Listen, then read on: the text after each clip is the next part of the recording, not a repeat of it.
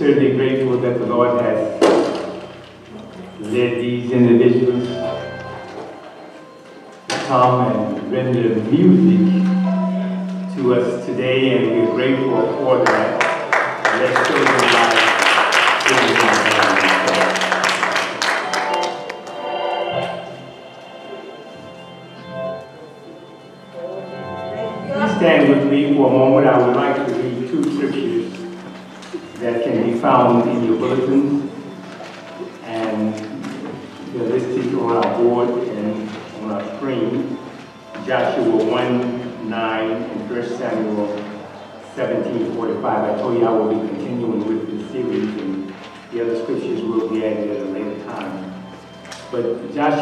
Joshua 1, 9, have I not commanded you?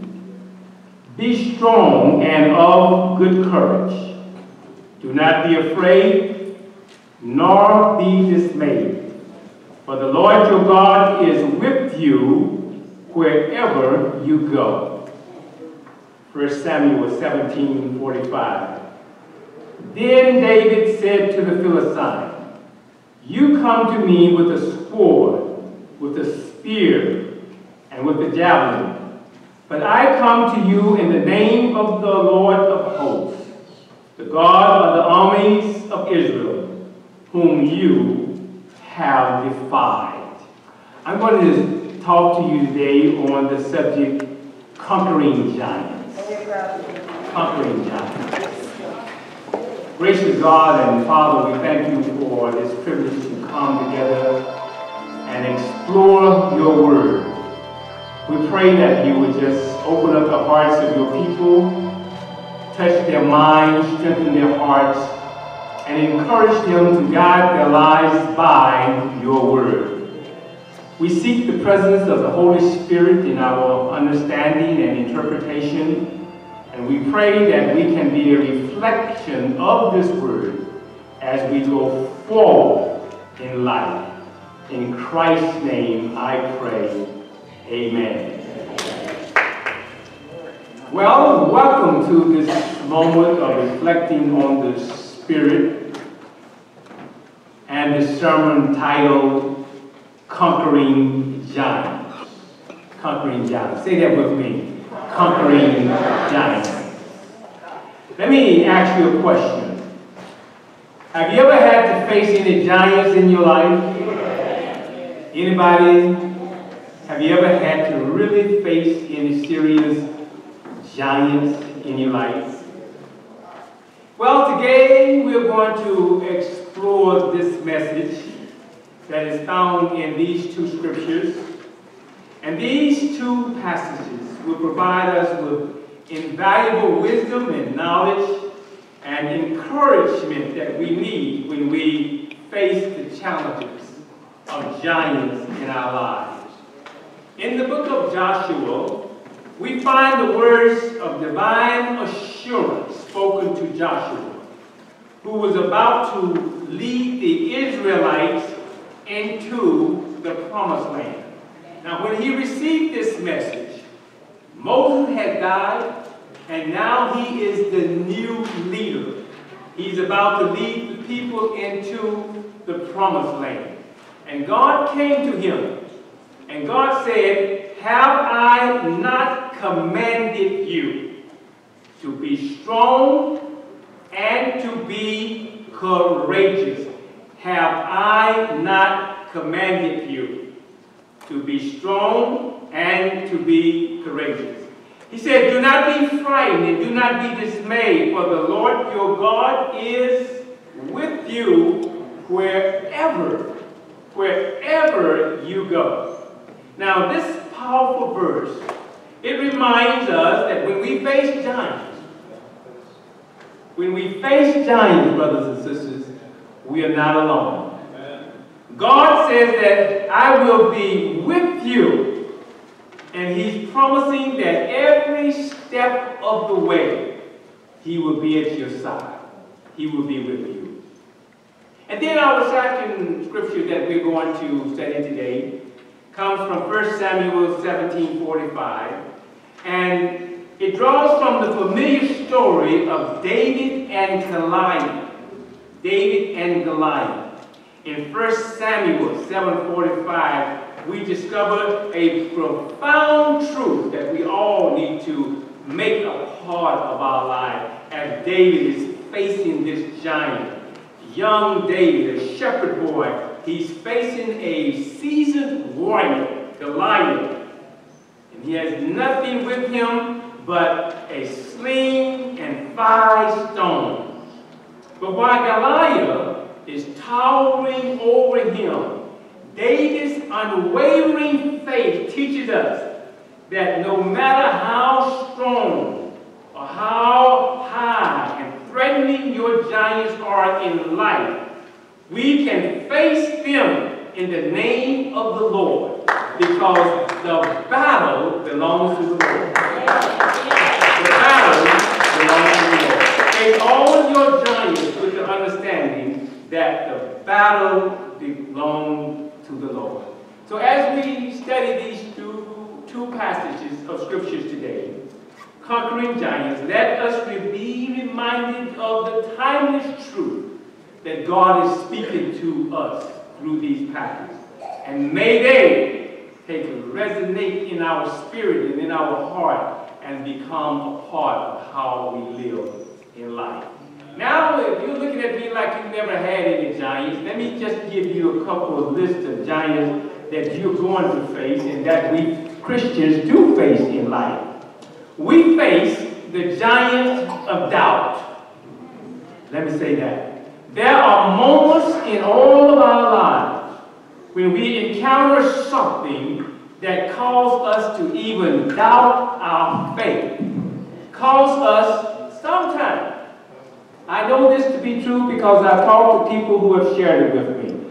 It even caused us to wonder, is there really a God? I'm going through all of this. Look at all of this stuff that's coming my way. And so you're going to face giants of doubts in your life. Then another giant, Christians, you're going to face, you're not immune to it, you're going to face giants of temptations. Christians are confronted with temptations, and you're going to be finding that your moral life is on the line, and the commitment that you have made to God is challenged by the temptations that you face. You're going to face giants of fear. Many Christians struggle with fear. You fear the unknown. What's going to happen next? You fear failure. I can't make it. You fear the consequences of your actions. You're going to face those giants in life. Some of them that you've already witnessed, even right now in our political system, giants of pride. Pride can hinder us from humbling ourselves and following God. Pride, self-righteousness, attitudes of superiority, pride can step in the way. And then another giant that so many of you are facing right now, unforgiveness. Somebody is facing You're holding grudges and you're refusing to forgive others about something that happened and you don't even know, remember what it was. But you know you can't forgive it, although you can't remember what it was. You're holding on. Satan will always come to Christians with another giant, lust. Some of us, sexual temptation, impure thoughts. And all of these things can take control over us and interfere with the purity of thought that God wants us to have. There's so many Christians. Yeah, you come to church and you go through all of the rituals of church and you come and call mama came, grandmama came and all of that. You stop by. But let me tell you something. Lukewarmness Jesus even warned us about that when he was bringing out those seven churches in the book of Revelation. He says that we are lukewarm. We don't know whether we're going to the right or the left. We're just struggling with complacency. You have a lack of passion for the Word of God, His mission, and His purpose for your life. Then another giant you're going to face, and listen to this one closely, is spiritual warfare. Let me say that again. Spiritual warfare. You know, as soon as Jesus was baptized, the first thing that Satan did was engage him in spiritual warfare. And you're going to face spiritual warfare. You're going to find yourself battling with evil forces all the time. And they're going to come at you from the right, from the left, from the front, and from the back. When you are a child of God, you are not immune. In fact, you are a target of Satan. And he's going to come after you, even like he came after Job, just to test who you are And see if you're really grounded. Then you're going to face the last challenge I will share with you. And that is the challenge of the pride of knowledge. Christians who have a deep knowledge of the scripture and theology and all of that don't allow your personal intellectual mind to tell you that there is no God. Sometimes kids go off to college and they all right, as long as they in church, but when they come back, they're too smart to be a Christian. All this Christian stuff is foolish, and they lose their confidence, they lose their settlement in the religion of their families, and they slip away into other cultures and other understandings, only to discover that it's empty. Give me that old time religion. It's good enough for me. We had, oh, we don't have all the modern technology and all of that as some of these churches have, but we do have God, that same God that brought us through. Will carry us on. So, our first scripture that we'll look at today will be dealing with this young man, Joshua. Given this marvelous and challenging responsibility to lead the people in the promised land. And he was given a word from God. I command you to be strong and courageous. Let's stay there for a moment. If you're going to conquer giants in your life, you're going to have to be strong be strong, people. Be strong and courageous. Be strong and courageous. In our journey of faith, God often calls of us to be strong and to be courageous. But how can we actually exhibit these values in the midst of challenges? You need to know that you can be strong and courageous by this. Number one, acknowledge your fears. Acknowledge your fears. Fear is a natural human emotion. Fear. And sometimes fear protects us from some stuff that we would get ourselves in if we didn't fear. God placed it there for a purpose and for a reason. Fear is a natural emotion. And it can manifest itself in different forms. But God wants you to acknowledge your fear. Because, you see, there's a couple of fears that can hinder us and cause us to become weak and not strong and courageous. And that's the fear, let me say this again, the fear of failure. I want to step out and say this. The fear of failure. Some of you, God has placed some great plans in your mind, but they have never manifested themselves in the world because that plan was given only to you, and you didn't do anything with it due to the fear of failure. So your plan will never come alive in the world. And you know another thing that we fear? Is that we fear the unknown. That's why we get so caught up in tradition that we don't want to do anything other than what we are familiar with, our comfort zone. We fear the unknown, not even knowing what the unknown holds.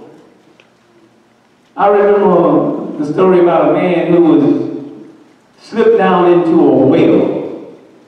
And on his way down, he held and he caught a rope that prevented him from going all the way down. And he held onto the rope all night until somebody came the next day. They were looking for him and they was calling out his name, and he answered, I'm in the well. I've been holding on to this rope. My hands are bleeding. I'm, I'm tired. I'm, I'm afraid. He was afraid of the unknown. So he was holding on. And then the person who looked down and said, listen, just let go. Let go. No, no. He said, just let go. Then they finally convinced him. He let go. He dropped two inches. Fear of the unknown. Sometimes we just got to let go. And let God step into our lives. Fear of the unknown. We stand here today asking God to give us what it means and what it needs for us to conquer fears and be strong and courageous. And another fear that people have is this. You know what that is? The fear of rejection. The fear of rejection. You, want, you don't want to be rejected. You want to be accepted. Everybody is not going to like you. Amen. Make up your mind about that. Amen. And that's all right. Just be you. Right. Just be who God has made you to be. Stop trying to live to be accepted and liked by everybody. Sometimes when you do that, you will make other people dislike you because they know that you're faking it. Amen. Just be yourself. And don't worry. If people don't like you and you know that you are a true child of God, and you've been wanting to be friendly and truthful to them and have never done one single thing against them in life and they still don't like you, go shopping. You do? Go shopping. Go to Walmart and find a card and send it to him and say, I'm sorry for your loss. Be yourself. Be yourself. Be strong. Be courageous. Scripture tells us that, yes, we're going to encounter different things in life. But when Joshua was going through this situation, I know that he was reminded of the scripture, Psalms 34. I sought the Lord, he answered me, and he is the one that delivered me from all my fears. Just turn to God in the midst of your situation, and God can deliver you. So acknowledging our fears can be difficult because it calls us to reflect and be vulnerable.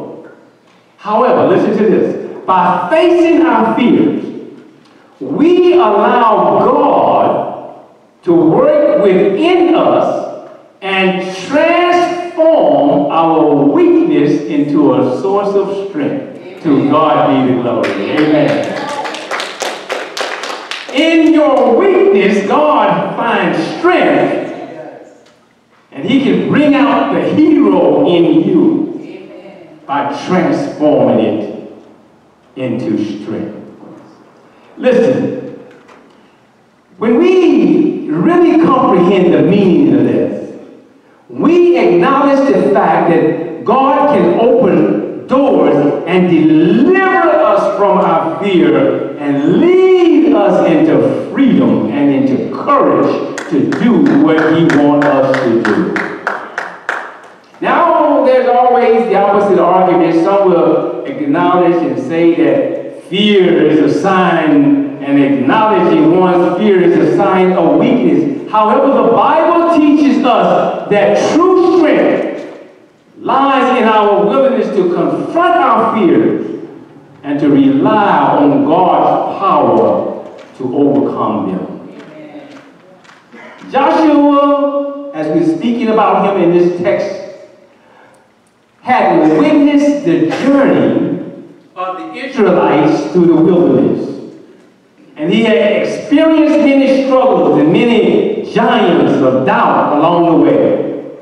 He knew the challenges that they had in conquering the promised land. Despite this, God assured him, Joshua, I'm with you. Joshua, be encouraged. Joshua, be strong. And I share to you today that same God that encouraged Joshua is encouraging you today. Don't be afraid of your challenges. Just go forward and conquer your giants because God is with you. Be strong. Now, let's transition. And now that we recognize the importance of acknowledging our fears, let us move on to the next step in conquering giants in this scripture also. Trust this. Trust in the presence of the Lord in your life. Trust the presence of God in your life. The Bible tells us here, for the Lord your God will be with you wherever you go. Wherever you go. Trusting in God's presence is crucial for us to be strong and courageous. When we understand that God is always with us, our faith is strengthened. And we can face situations with confidence. God's promise to Joshua, it echoes throughout the scripture. Jesus assures us, surely, he said in Matthew, I am with you always, even to the very end of the age. This promise extends to all of us believers right now, knowing that God's constant presence is with us. When Moses was leading the children of Israel out of bondage, he had all them grumbling folks. They even broke the Ten Commandments. They was fussing and fighting. Moses stayed up in the mountain too long and they went out and made their own god. They built a statue out of gold with all of their jewelry. When Moses came down, what were they doing? Worshipping that. Moses got so mad, he just, God, I can't believe you sent me over here to get these people out of Egypt. Look at them, they're grumbling, they're fighting, they're even threatening to kill me. And then Moses asked God a question. He says, Lord, I've been doing my best trying to lead these people to the promised land. But I discovered that I need somebody to go with me. I need some help along the way. And let me tell you sometimes, you can't make it all the time by yourself. You're going to need somebody to help you along the way. You're going to need somebody dependable. Not somebody behind your back plotting, but somebody that you can depend on. And he asked God, he says, God, who shall you send with me? And the Lord says, well, go ahead, Moses my presence is going to go with you. Oh, somebody ought to say amen. He says that, stop worrying about who's going to go with you. When everybody see you, they're going to be able to see that I'm with you. And if God be for you, nothing can be. Nothing can be against you. So God says that my presence will go with you. And in the book of Isaiah, he says, So do not fear, for I am with you. Do not be dismayed, for I am your God. I will strengthen you, and I will help you, and I will uphold you with my right hand. Hold to his unchanging hand. Hold on. Trust in God and trusting God's presence with us enable us to release all of our anxiety, knowing that He is in control. And when we do that, it provides us with a sense of comfort, security, and peace in the midst of the storm. This trust allows us to draw strength from God, strength from His unfailing love, strength from His unfailing faithfulness. Some of you might say, well, how can we trust in an invisible God? We walk by faith and not by sight.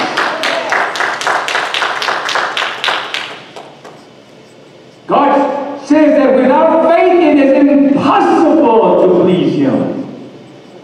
Joshua, listen, Joshua was given that challenge to go with God's presence. But you know what? It's always good to be able to go with God's presence and you can look back on what God has already done. Somebody say amen. You see, Joshua, he was leading them into the promised land.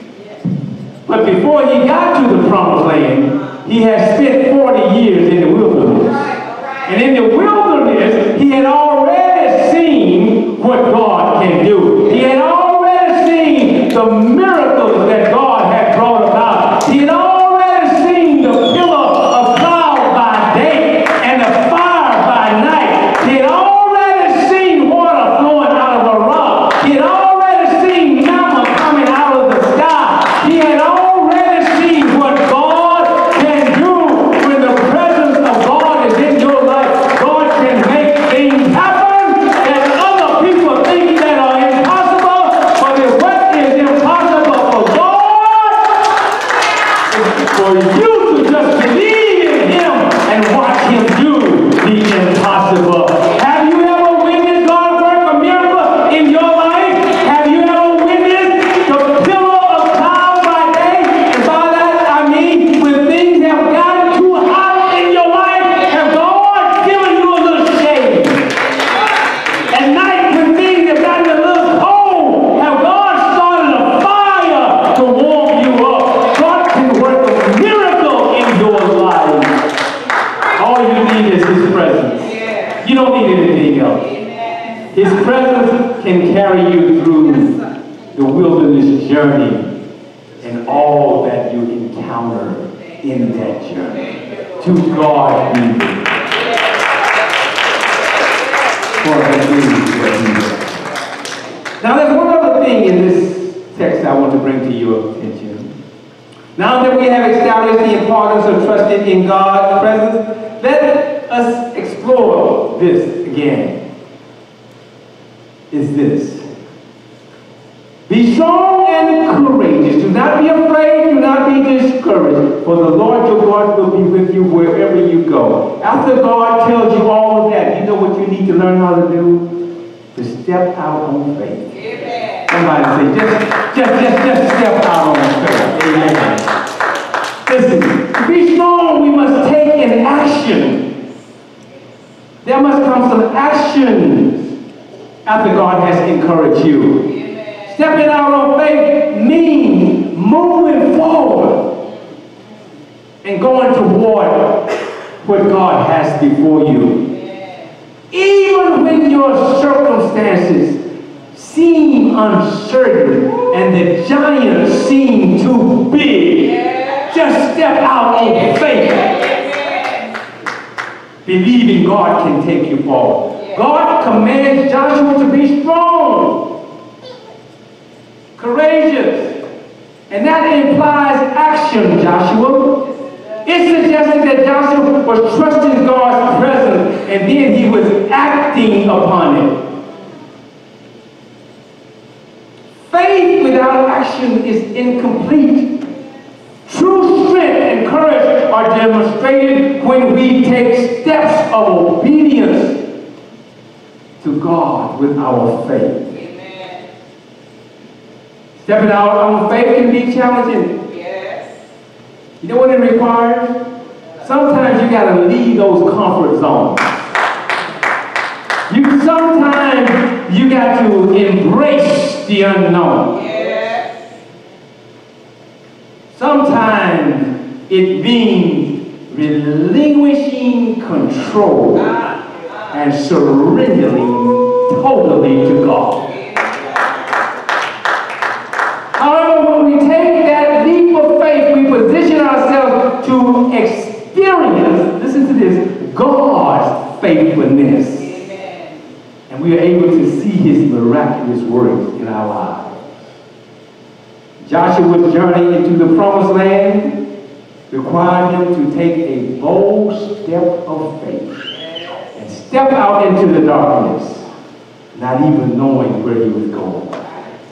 So as I leave Joshua 1 9, I'm going to take you over now to 1 Samuel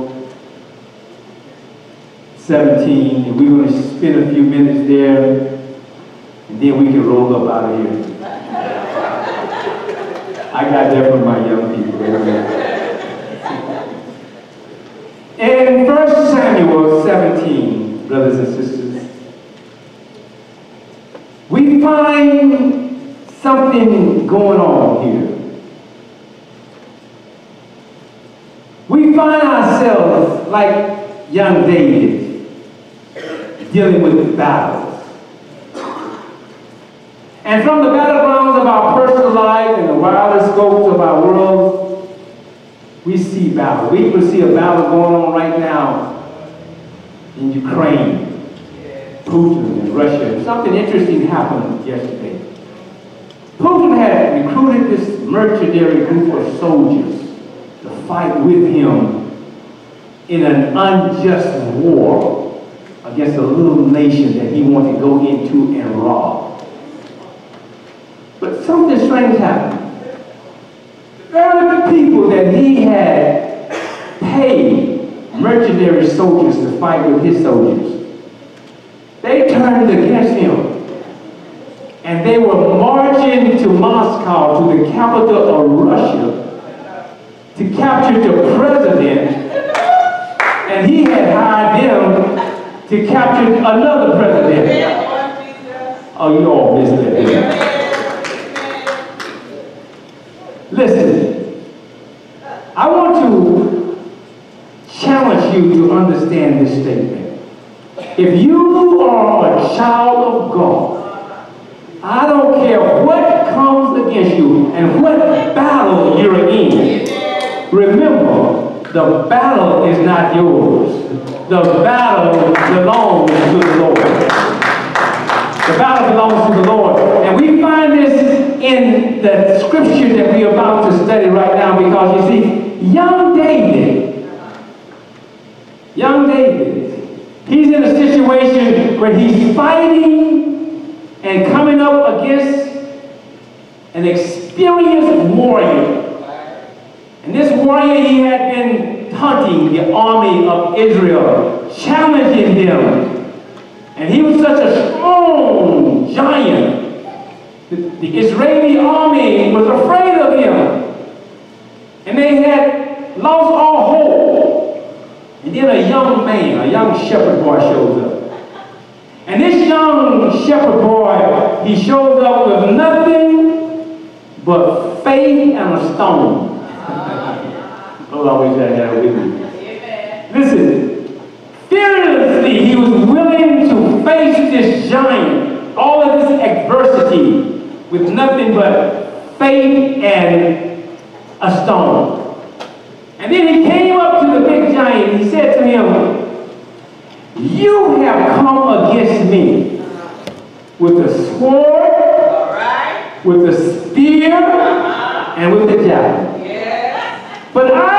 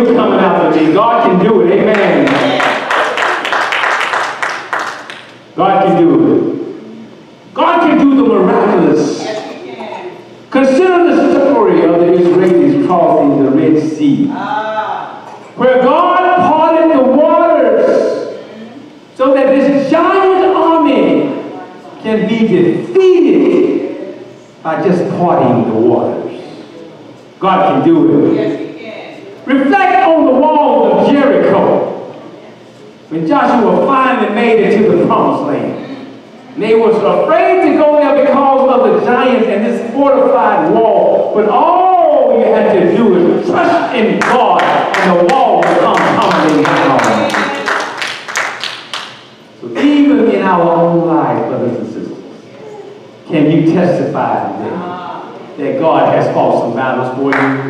Can anybody say that God has, have you had financial battles defeated because of God? Have you had relational conflicts defeated because of God? Have you had personal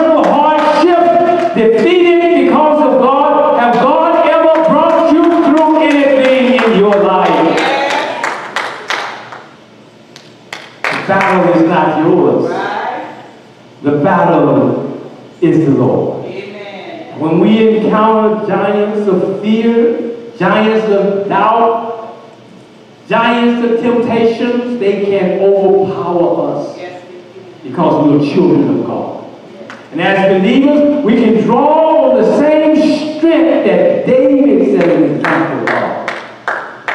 He did this. He didn't trust in his own strength. He trusted in the strength of God. So, brothers and sisters, when facing overwhelmingly challenge, it is essential to remember that the battle belongs to the Lord. And we must place our trust and strength in Him. By surrendering our battles to Him, we can experience peace and just sit back and watch Him fight the battle. Amen. Thank you, Lord. And then learn how to stand on God's Meditate on His Word. Believe in His Word. Be empowered by His promise that I'll always be with you. Seek out God's guidance instead of relying solely on your own understanding. Go into your battle and let God lead you into them. Let Him lead you. Learn how to pray and get in communion with Him. Battles we encounter are not meant to be fought alone. God desires to walk beside us and direct us all the way. So in conclusion, in conclusion, the battle is not yours, it's the Lord. Listen to David. You come against me with the sword and the spear, but I come against you in the name of the Lord. When we study the life of Jesus, Jesus teaches us certain things. Yes. Jesus teaches us that we can conquer our giant by trusting in God's power. He assures us that with our faith, nothing is impossible. Jesus teaches us that we can conquer our giants by praying, by depending on the Holy Spirit, by living